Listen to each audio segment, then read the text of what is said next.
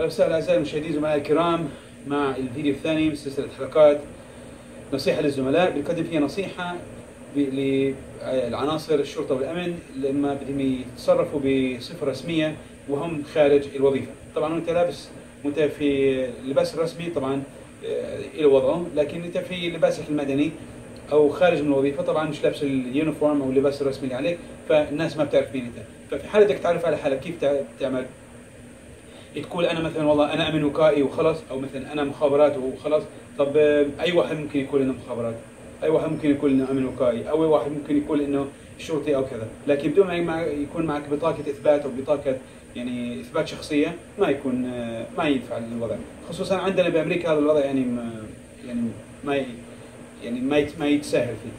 فأنا بدي النصيحه اللي بعطيها إذا أنا كنت في حالة مثلا خارج وظيفة وسلاحي على إيدي اليمين أو سلاحي على إيدي الشمال بدي أحمل بطاقة ال- الوظيفة في المنطقة في الاتجاه المعاكس من سلاحي ليش؟ لأن مثلا إذا بدي أحمل سلاحي في إيدي اليمين كيف بدي أعرف على نفسي؟ بدي أعرف على نفسي بإيدي الشمال طب هويتي وين؟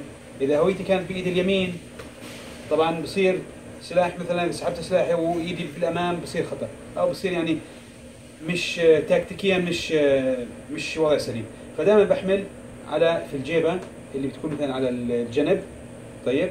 ومثلا في حالة لما بدي أشهر سلاحي طبعا أنا موجود مثلا معي البطاقة بهذا الشكل.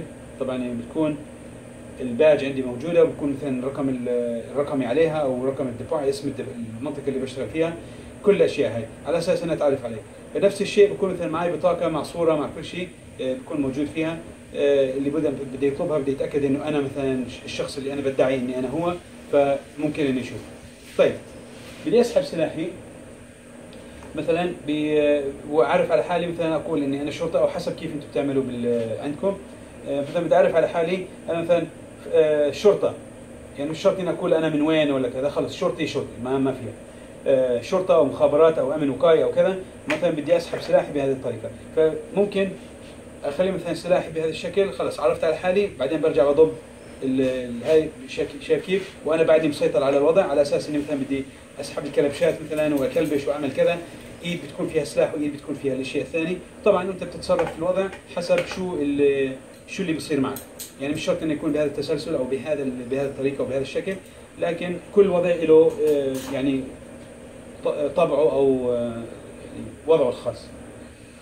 آه، هذا هو بالنسبة للنصيحة. سواء إذا أنت كنت مثلا مدني أو كنت مثلا آه، خارج الوظيفه طبعا ومش حامل الباج مثلا على على جنبك جنب السلاح وكان مثلا بال- بالدزدان بهذا الشكل أو مثلا في بعض الناس بيكونوا بيحملوا مثلا آه، الوظيفة عفوا بطاقة الوظيفة مثلا بالجيبة مثلا هذه. دائما خليها بالاتجاه المعاكس عن الجيبة. شايف أنا كيف دورت؟ عشان البنطلون مثل هذا يكون فيه مثلا ثمان أو تسع جيب. كل مثلا يعني بنخربط فيها.